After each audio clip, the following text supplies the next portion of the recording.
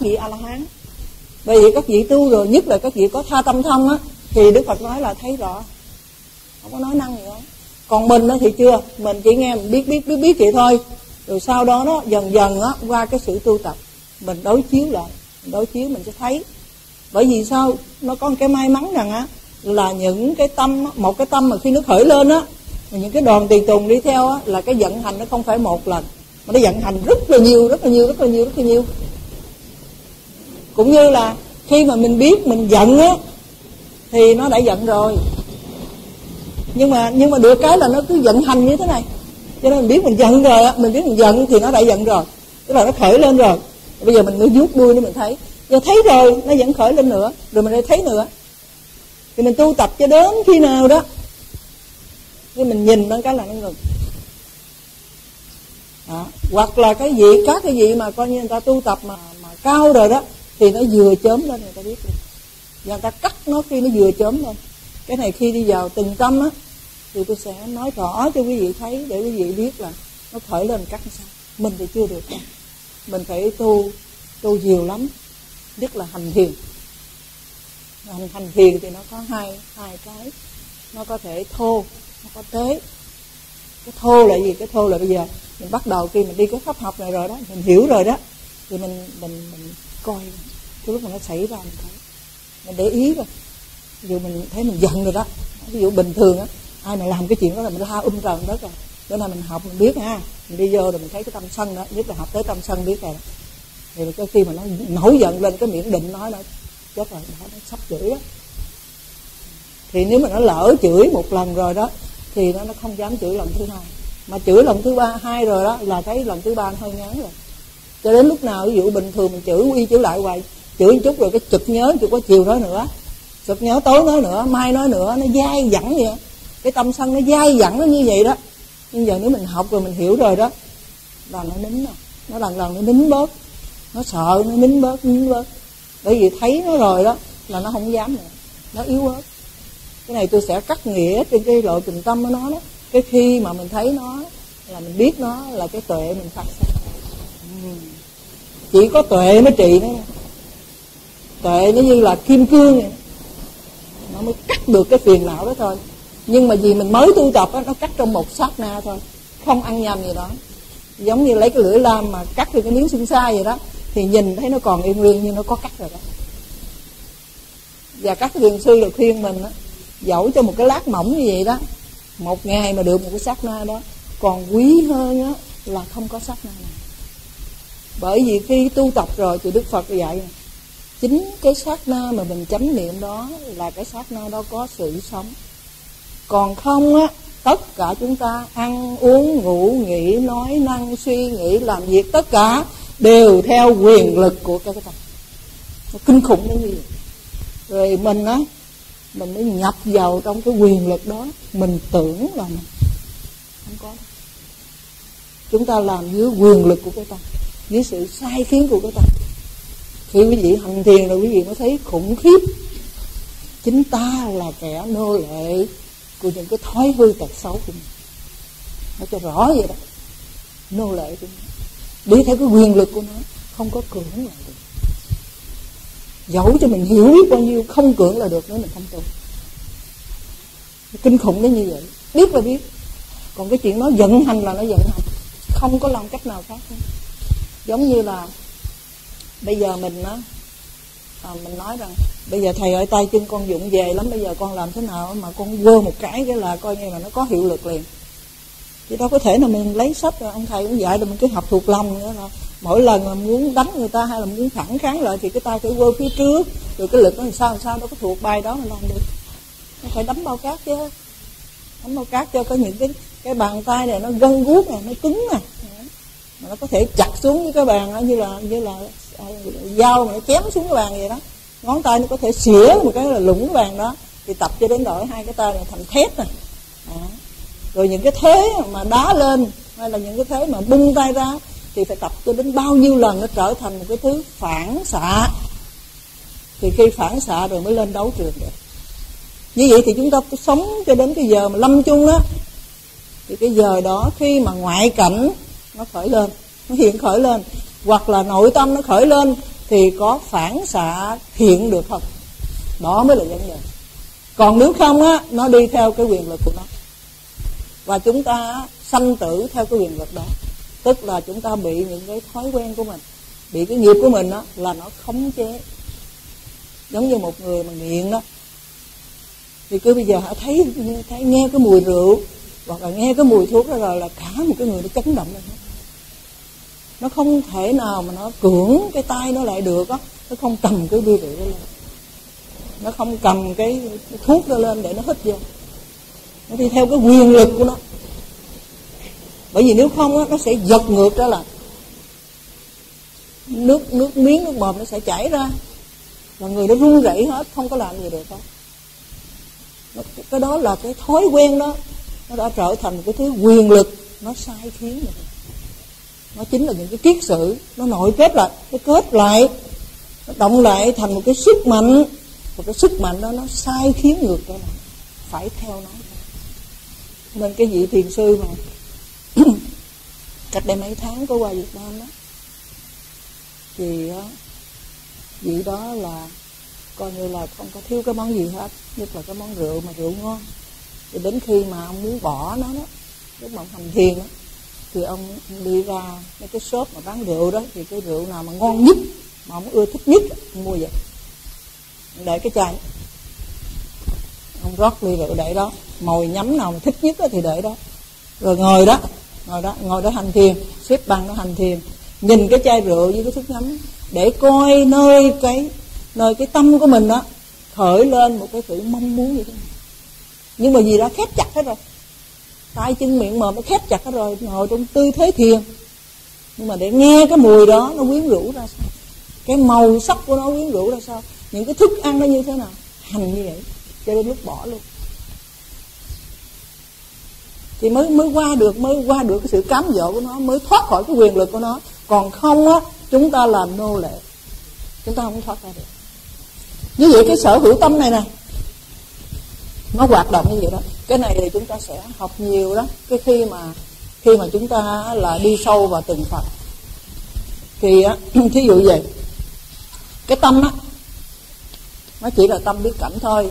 Nhưng mà ở dĩ á nó có gọi là tâm tham hoặc là nó gọi là tâm sân nó gọi là tâm si vân vân. Là bởi vì khi á, mà cái tâm nó khởi lên á thì nó có cái sở hữu tham nó đi theo.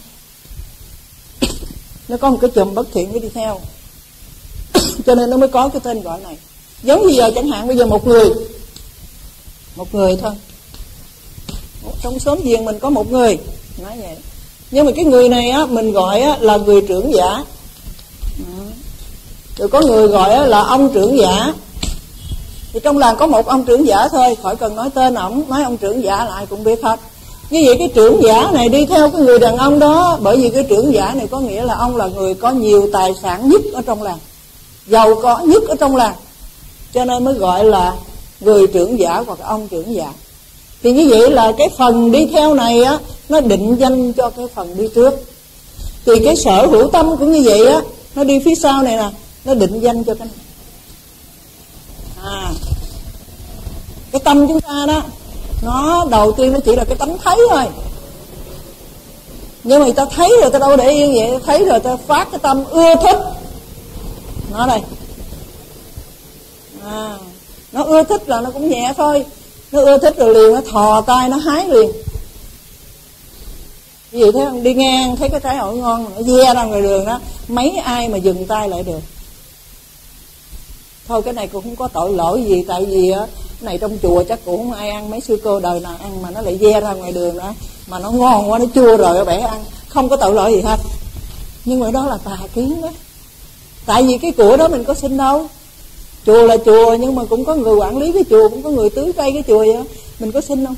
Mình biết cái của này của nhà chùa, mà không ai cho hết á. Mình tự ý mình cho mình. Không?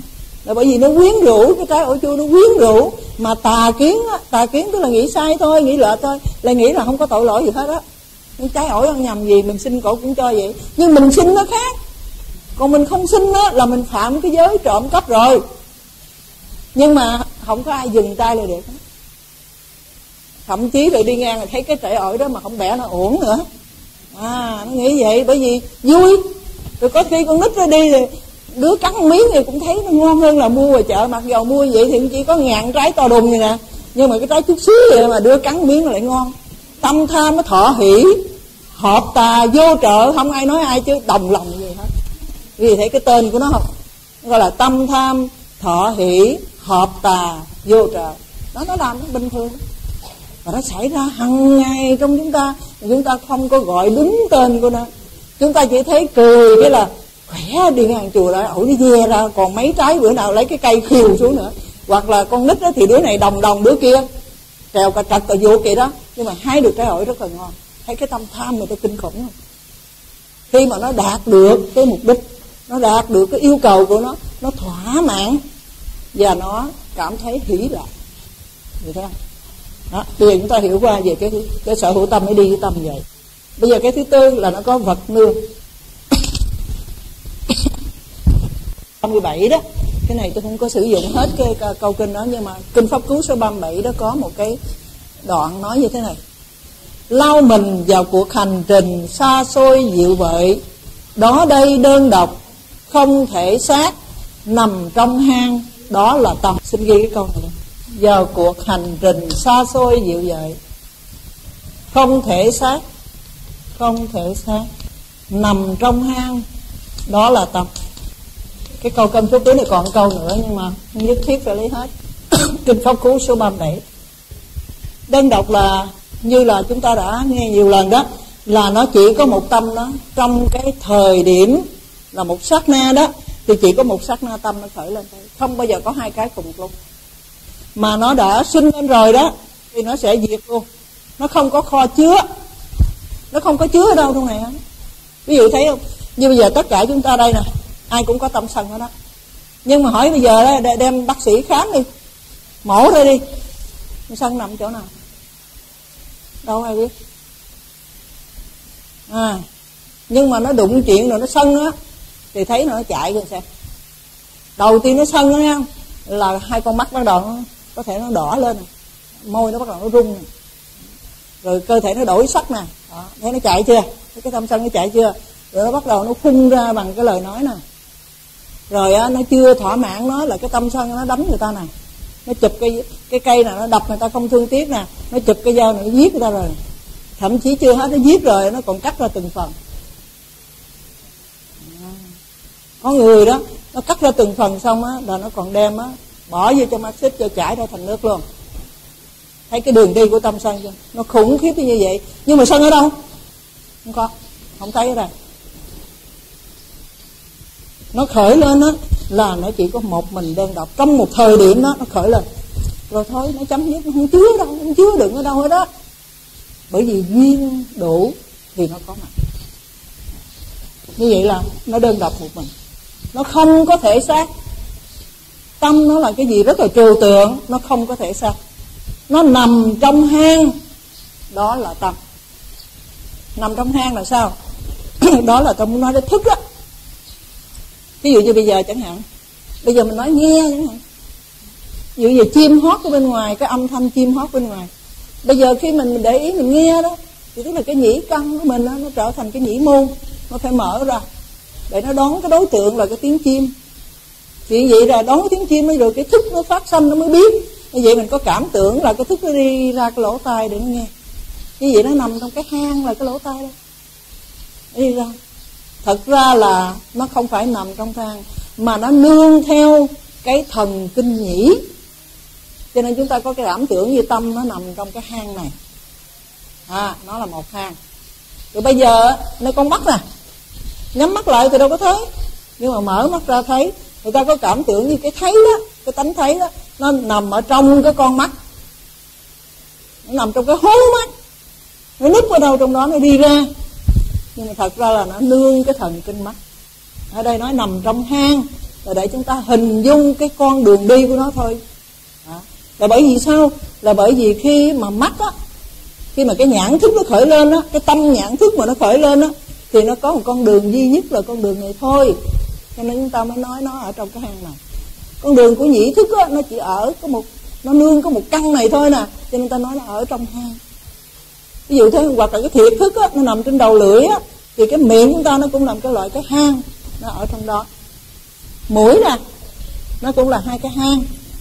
Bởi vì khi mà hít vô á thì cái nhãn thức nó chỉ nương có cái căn cái căn này thôi nó nương theo cái nhĩ căn này cái cái cái cái, cái tỷ căn này thôi. Nó không nương vào đâu hết. Còn thân căn á, là nó toàn bộ. Nhưng mà ta muốn nói cái các hang đó là ví dụ nói ở tay ở mũi ở miệng ở mắt vân vân thì nó nương theo các cái căn đó ở trong hang. Đó là tâm. Lao mình vào cuộc hành trình xa xôi dịu dợi. Như nãy tôi có trình bày đó là tất cả chúng ta đây là con người. Chúng ta có mặt trên thế gian này đây nè để chúng ta thọ nhận cái quả thiện và bất thiện chúng ta đã tạo ra trong quá khứ. Và khi chúng ta thọ nhận cái quả này đó có khi chúng ta không chấp nhận mà hầu hết chúng ta đây không ai chấp nhận hết. Nhất là những cái quả bất thiện là không bao giờ chúng ta chấp nhận cả chúng ta có cái khuynh hướng là chúng ta đẩy ra. Cái điều này á, khi mà nói vậy đó quý vị thấy ít.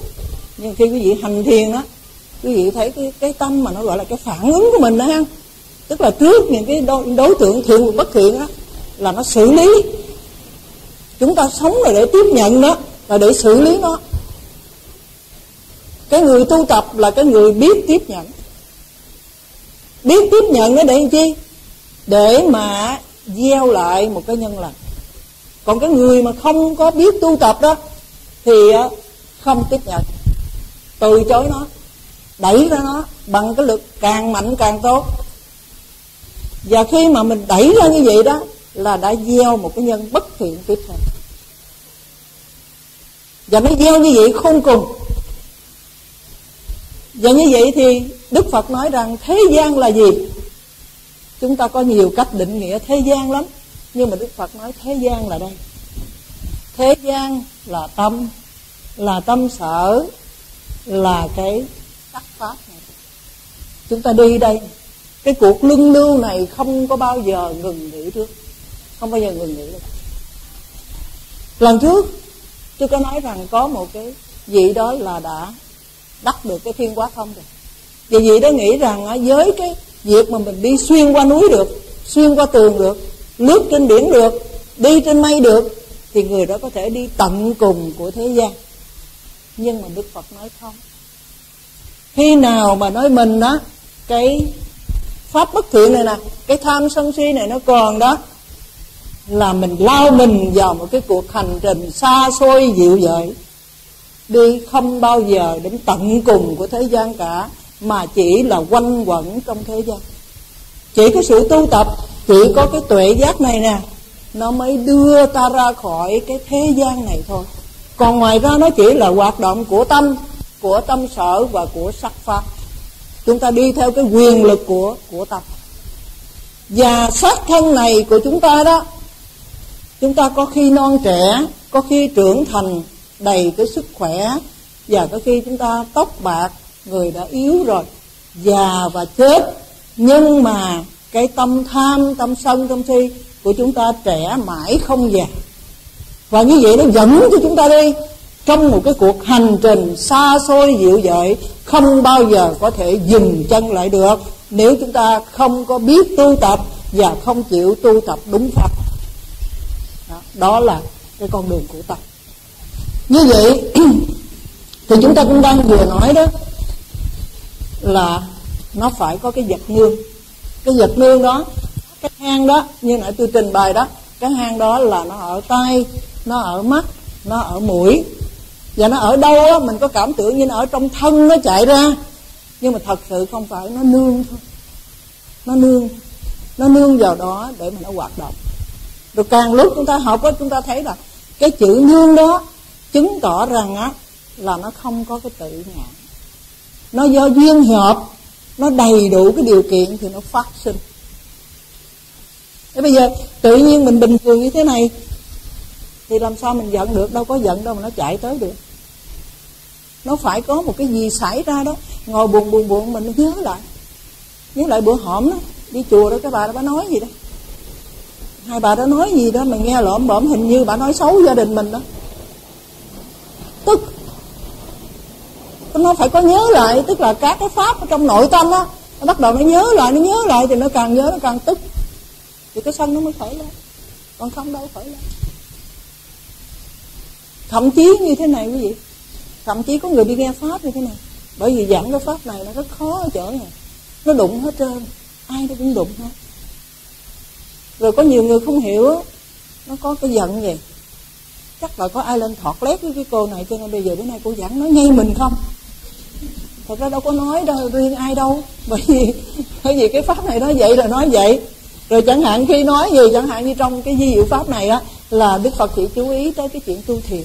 Quý vị kiểm lại đi suốt từ cái khi mà đức phật đó là ra khỏi cái hoàn thành, rồi vào rừng tu đó, cho đến khi ngài đắc đạo, không có cái chữ nào khác hơn cái chữ thiền cả. Thì khi tôi giảng về cái này là chuyện có thật. Khi tôi giảng chỉ chú ý này thôi. Thì đó, nhiều người nổi sân. Và đề nghị tôi không nói vậy nữa. Bởi vì có cái pháp tu gọi là niệm phật a di đà. Tại sao phải coi thường cái pháp đó? Mà chỉ giảng cái pháp thiền cho nên xin thưa quý vị đây là khi chúng ta học với diệu pháp á là không có thuyết pháp. Bởi vì một à, à, vị tăng hay là một vị ni thuyết pháp á, là khác. Còn ở đây pháp học là khác. Pháp học là những cái gì di diệu pháp có thì xin trình bày đúng như vậy. Còn quý vị theo pháp môn nào đó là mình tiếp nhận cái phật pháp qua cái sự khúc xạ của mình không ai can thiệp vào trong đó hết. Chúng ta học và chúng ta muốn tu pháp môn nào là tùy theo mình. Bởi vì khi mình nghe nó qua cái ý căn của mình ra khúc xạ rồi. Bây giờ quý vị lấy cái sách này quý ra đọc, thì mỗi người đã nghĩ khác nhau rồi, nó khúc xạ hết rồi. Bởi vì cái, tất cả nè, nơi cái sắc pháp này nè, nó là sản phẩm của nghiệp rồi, cho nên nó khúc xạ hết cho nên cũng xin thưa trước là quý vị nào có giận tôi thì tôi xin lỗi trước. Vì không có cố ý nói cái hoàn cảnh của ai, cũng không có nói tới cái pháp môn tu của ai. Ở đây là đức phật nói là chỉ có thiền, chỉ có tuệ giác, chỉ có chánh niệm đó nó mới có đủ cái khả năng cắt đứt phiền não. Còn tất cả những cái pháp khác đó nó chỉ làm dịu xuống thôi. Ở đây không phải là cái sự so sánh để mà nói cái nào hơn cái nào nhưng mà nói rằng mỗi một cái phương pháp nó đưa đến một kết quả. Thì bây giờ cái bước mình đi á, là tùy mình. Không có ai áp chế mình cả. Di diệu pháp không có áp chế. Di diệu pháp chỉ trình bày còn quyền quyết định đó là ở nơi mỗi cái chúng sanh. Hoàn toàn mình có cái tự do. Thì như vậy là chúng ta đã xong bốn cái này. Bây giờ cái ngay ở mắt nhãn thức cái nhận thức nó khởi lên, tiếp cận nó có sự tiếp xúc vậy. Thì khi nó khởi lên rồi á, là nó diệt nha phải nhớ như vậy, nó khởi lên rồi nó diệt. Nó để cho một cái tâm khác nữa, nó sinh khởi lên. Đây tôi nói đi nói lại nhiều lần á, đây chính là chỗ chúng ta tu được. Không có nhất thiết rằng á, là khi cái cảnh lạc nó khởi lên á, là mình vui mà cái cảnh nó bất lạc nó khởi lên là mình buồn. Không, mình chuyển được. Nếu mình biết, mình chuyển được. Còn cái luật tự nhiên á, mình theo cái quyền lực của tâm á à là khi cái tưởng mình, nó phán đoán rằng, đây á, là tốt, đây là xấu, thì liền cái cảm thọ của mình á, là nó đi theo. Nó thọ lạc, nó thọ khổ, nó thọ ưu, nó thọ hỷ, liền là nó cảm thọ liền thì như vậy không nhất thiết mình phải đi theo cái quy luật của nó. Đi theo cái quyền lực của nó, đi theo cái sự vận động của nó. Mà cái sự hiểu biết của ta đó làm cho ta có thể chuyển đổi được. Như vậy thì ở cái cõi mà vô sắc á, thì tâm không có vật hương. Ví dụ như mình học á, mình thấy ở đây nó có cái cõi mà vô sắc giới đây. Cõi vô sắc đây. Những cái chúng sinh mà ở cõi này nó không có thân không có cái sắc pháp.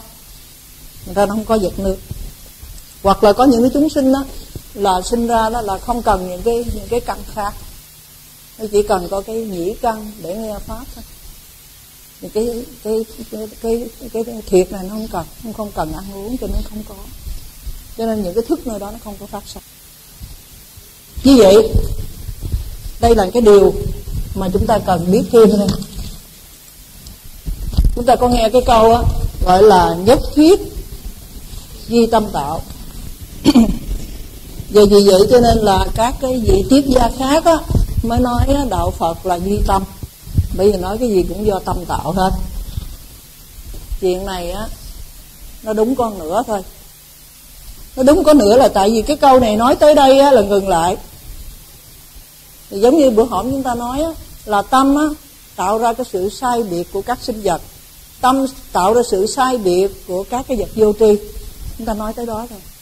Bữa nay chúng ta học cho tới cái phần này, cái nhân sinh tâm này đó, thì chúng ta mới thấy rằng là tâm này đó, nó cũng bị tạo đây chính là cái gốc của nó đây. Cho nên người ta lấy cái này, người ta nói đạo phật là đạo duy tâm.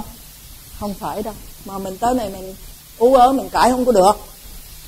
Làm thấy trúng vậy rồi. Nhưng mà tâm nó bị tạo tức là tâm này mà muốn phát sinh á nó phải có điều kiện. Nó là bốn điều kiện này đây. Do gì tâm nó phát sinh trong những cái có những cái điều kiện cho nên mình cũng có thể tạo điều kiện để cho cái tâm thiện nó phát sinh. Còn nếu không á, là chúng ta theo cái quyền lực của nó.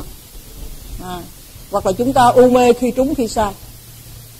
Nếu mà chúng ta trúng là nhờ cái thiện căn chúng ta có sẵn rồi thiện tâm ta có sẵn rồi, thì chúng ta đi trúng. Mà khi nào nó không khởi lên được thì chúng ta sai.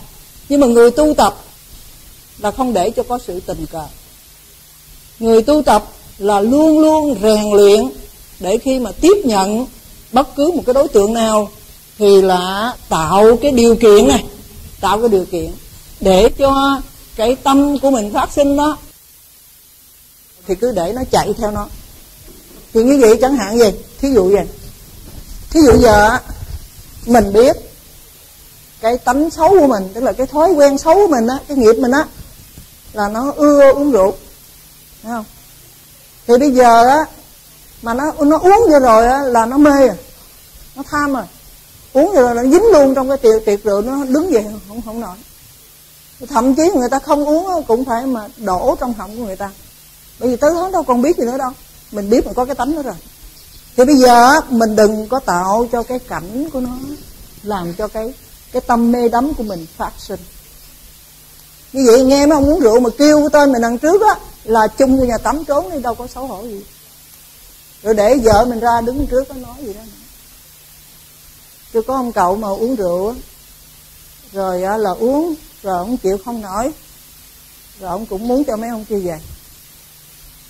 Thì là ông kêu vợ ông đem thức ăn lên thì hết rồi, còn đâu bưng thì một trong những người đó mới à, nhà ông thờ cái trang cao nó bắt cái cái cái cái cây thang lên, cái nó có cái ghế cao giống như cây thang mới trèo lên mới đánh chuông lên. Rồi mới, ông mới nói là tao đánh chuông bởi vì nhà mày thờ vợ. Thì quý vị thấy cái tâm người ta u mê cái gì nè. Cái chỗ thiêng liêng trong nhà người ta mà lên đánh cái chuông. Nói mày thờ vợ, để cho ông này ông tức. Ông phải sai vợ ông ra chợ đó, mua thêm thịt, mua thêm rượu về cho mấy người nhậu. Thì quý vị thấy như vậy, mình có nên tạo cái cảnh nó tiếp không? Như vậy thì những người đó tới mình trốn đi. Mình trốn đây á, là mình sợ mình trước à. Bởi vì sao? Bởi vì cái cảnh đó, cái cảnh mà nhóm họp những người bạn đó ví dụ như cái thức nhậu đó đó, những cái đồ ăn đồ uống đó, mình dính vô mình ra không được cho nên mình chạy trốn mình trước. Mình sợ nó khởi lên mà. Như vậy nó, cái đó nó dấy lên hay không dấy lên đó là do mình biết hay không biết thôi chứ. Tôi có một ông nữa, cũng bà con. Ông này thì ông mạnh mẽ lắm rồi, ông không có sợ đâu. Đi ngang á, nếu ông vô cho bằng được, không vô là không được. Ông vô rồi đàng hoàng, cũng gấp miếng uống xong đó ông lại cái quầy đó ông nói tôi trả hết cái bằng tiệc tôi trả tiền hết cái bằng tiệc nhậu từ đầu cho tới cuối. Sức uống bao nhiêu tôi trả hết cho mình nhưng mà tôi nói với anh em rằng á, là bữa nay tôi quan hỷ trả hết cái tiền này mà anh uống từ đây cho tới chiều cũng được bao nhiêu chủ quán tính mấy triệu tôi trả hết mấy triệu. Nhưng đây là lần đầu tiên cũng là lần cuối cùng tôi vào đây uống cái ly rượu này và hết đãi anh em cái tiệc này bởi vì thầy vợ của tôi phải cài bừa để nuôi vợ con. Tôi phải bảo đảm một cái gia đình tử tế chứ tôi không có thì giờ ngồi với anh em. Xin anh em tha thứ cho tôi. Và ông trả hết cái tiệc đó. Là vĩnh viễn không ai kêu nữa. Hả thì ông chấm dứt cái cảnh này. Nó có cái cảnh, nó mới gợi, nó mới khởi lên. Thì cái tâm mình nó mới nương theo đó đó. Nó mới ờ, là phát sinh mà mình kéo lại không được. Như vậy mình biết thì mình tránh được cái sao tránh được. Có nhiều người á, là do cái ngã mạng, mà cái ngã mạng nó được định nghĩa bằng chữ sĩ diện mình không đi nhậu với nó. Nó nói mình ờ, là cái thằng sợ vợ. Nó nói mình là cái thằng bụng xỉn keo kiệt. Mình sợ cái từ đó.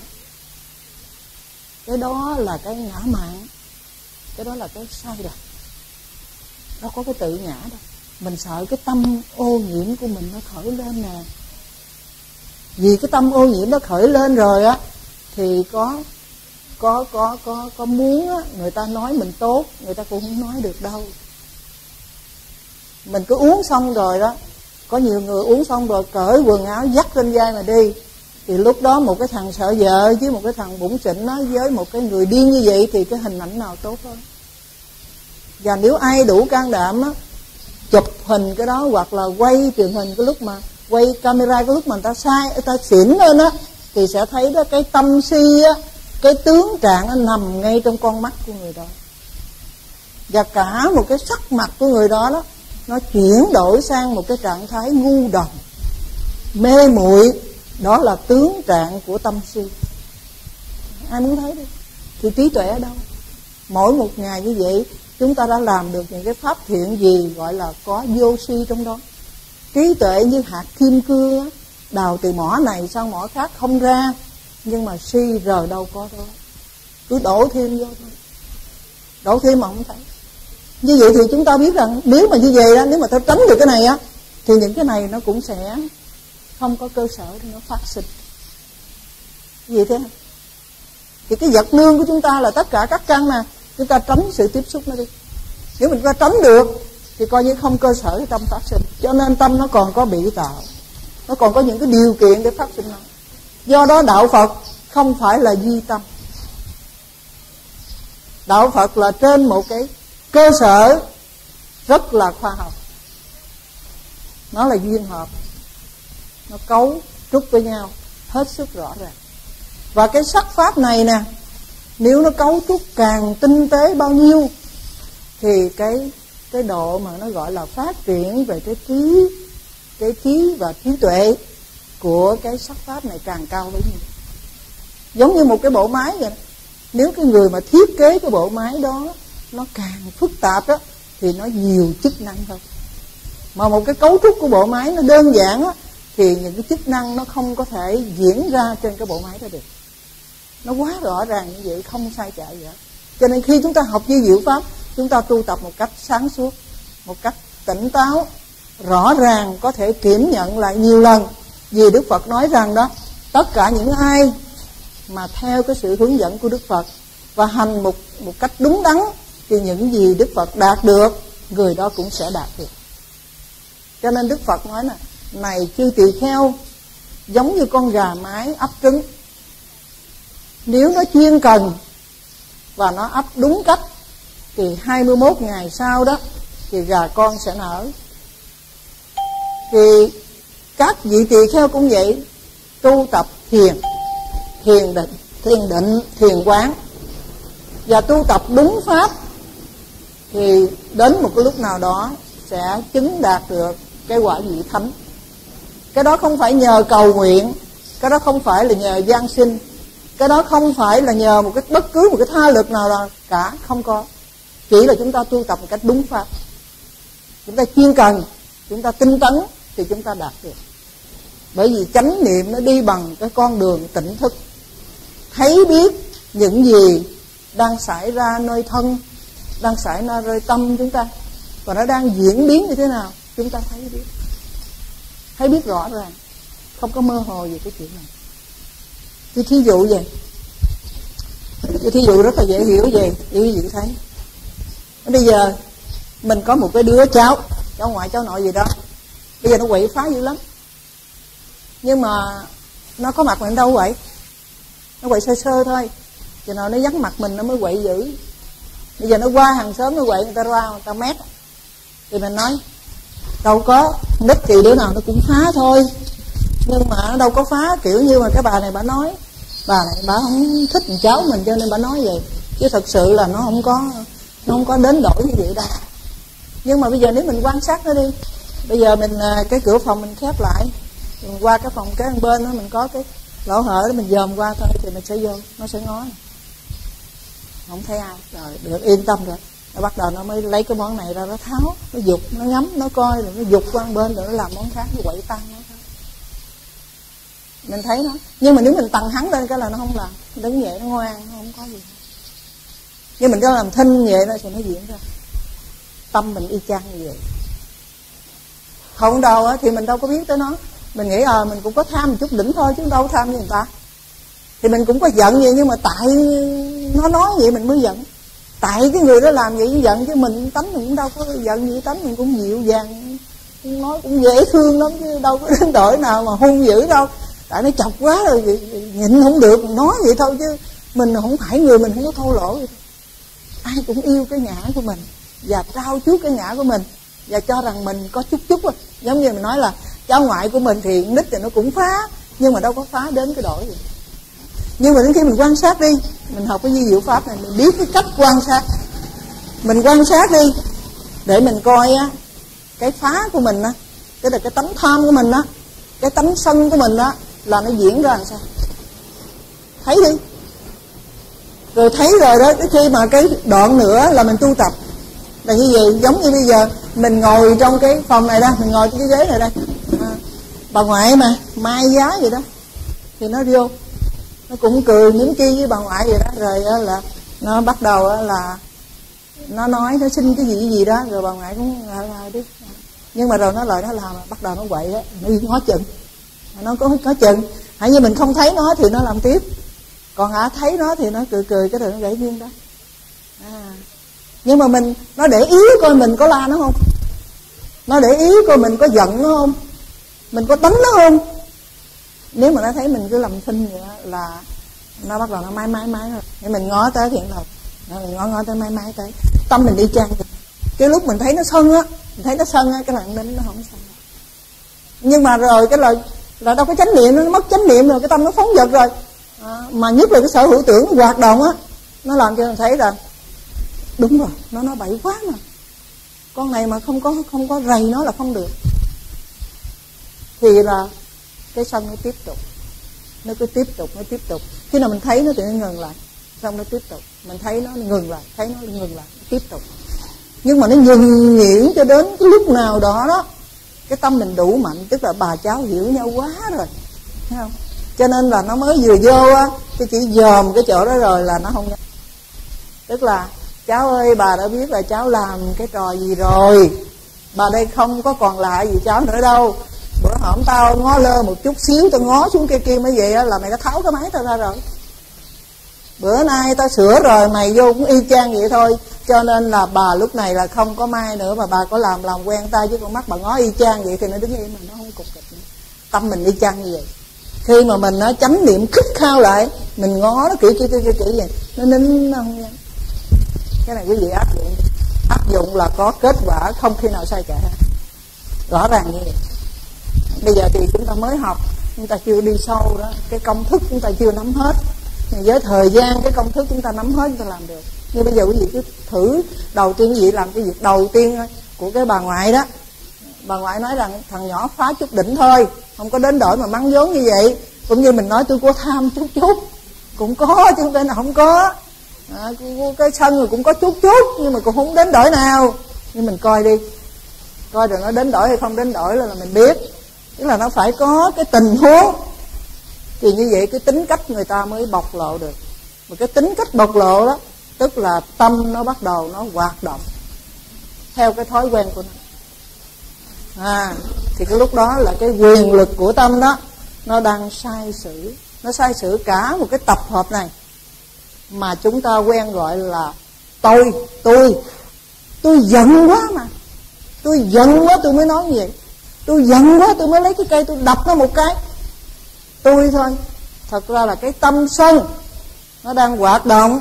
Và cái tâm sân đó, nó sai sử cả cái tập hợp này đấy à. Phải hành động theo cái tâm sân. Cái tâm sân đó dùng cái lời nói mà coi như là thô thô thiển. Dùng cái lời nói độc ác để mà phun trên cái đối tượng. Làm cho cái đối tượng nó bị nhiễm độc nói xong rồi đó là ngàn đời ngàn kiếp người ta không thể quên được. Nói xong rồi người ta đau trong từng cái tế bào của người ta nó, nó phun cái độc độc đó ra đến như vậy. Là nó sai sử cho cái khẩu này nè nó phải nói ra. Và nó sai sử cho cái thân này là nó phải rúng động lên nó tức đến độ mà rung hết mình mẩy tay chân rồi mới chụp được cái gì phan cái đó chụp được cái gì đập cái đó. Bất kể cái đối tượng nó sẽ ra sao đó là cái hoạt động của tâm sân mà mình cứ nói là tôi giận quá. Đâu có tôi đâu. Nếu mình nói tôi đây á, có nghĩa là tôi là chủ của tâm sân không có đâu. Cái mà gọi là tôi đây á nó trở thành là một cái công cụ của cái tâm sân. Tâm sân nó sai sự trở lại và phải hành động theo nó. Và cái phút đó tạo nghiệp mà không có ngán. Tôi đánh chết nó mà tôi có thiếu mạng tôi cũng cũng cũng chưa có đả cái nương của tôi. Cái tâm sân nó dữ dội đến như vậy mình không biết.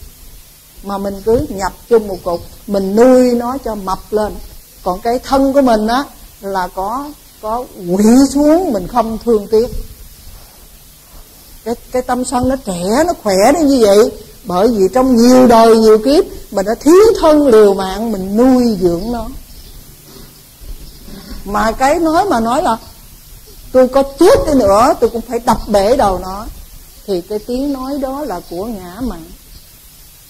Mà do đâu có ngã mạng? Là vì tà kiến.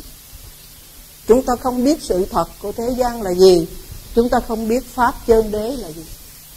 Nếu chúng ta có thể biết đâu là pháp thế gian, đâu là pháp chân đế, chúng ta không dám khí thân liều mạng để nuôi cái tâm sân nó trường tồn đến như vậy. Để mà nó gọi là nó gọi là nó lao mình vào một cái cuộc hành trình xa xôi dịu dợi như vậy. Vô trong tù rồi cũng chưa hối hận. Không hối hận. Tôi có người bạn, hồi đó làm ở internet shop của sạch đức ấy.